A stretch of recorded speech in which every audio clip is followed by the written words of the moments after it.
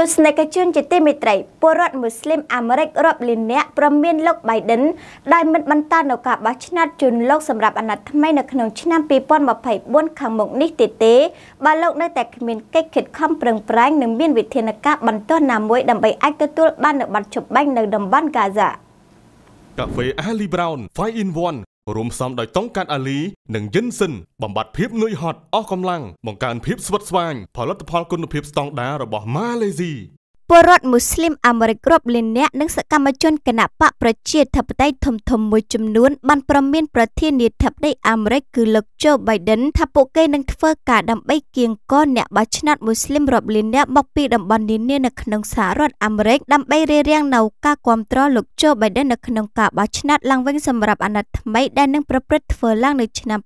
2024ខាងមុខនេះលុះត្រាតែលោកចាត់វិធានការជាបន្ទាន់ដើម្បីទទួលបាននូវប័ណ្ណឈប់បាញ់នៅតំបន់ហ្គាហ្សាសាដើម្បីជួយដល់ប្រជាពលរដ្ឋប៉ាឡេស្ទីនឲ្យបានទាន់ពេលវេលាក៏ដូចជាអាចបញ្ឈប់នៅចំនួនមនុស្សស្លាប់ជាបន្តទៀតនេះបាយយងតាមការចុះផ្សាយដោយសារព័ត៌មាន TRT World នៅថ្ងៃទី1ខែវិច្ឆិកាឆ្នាំ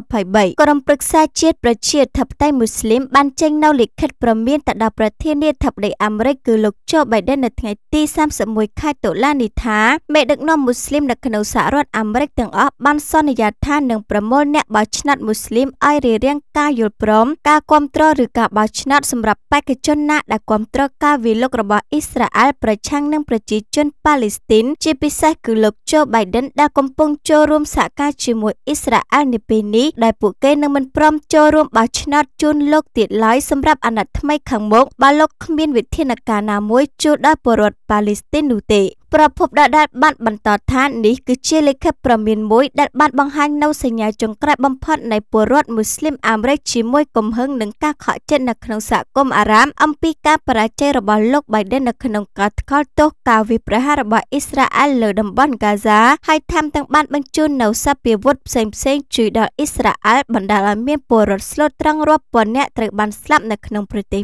ប៉ាឡេស្ទីន គួរជម្រាបផងដែរថាសัญลักษณ์ឆ្នោតរបស់ពលរដ្ឋមូស្លីមអាមេរិកពិតជាសំខាន់ខ្លាំងណាស់សម្រាប់លោក Joe Biden ពីព្រោះកាលពីឆ្នាំ2020ប្រហែល70%គឺភាគច្រើនពលរដ្ឋមូស្លីមបានគ្រប់គ្រងលោក Biden ដោយទទួលបានជ័យជំនះចំនួន16រដ្ឋនៅក្នុងនោះសម្លេងគ្រប់គ្រងរបស់លោក Biden នឹងធ្លាក់ចុះបើលោកនៅតែគ្មានវិធានការបន្ទាន់សម្រាប់ពួកគេនាងខ្ញុំអាយនេះពីទ្រូទស្សន៍មូស្លីមកម្ពុជា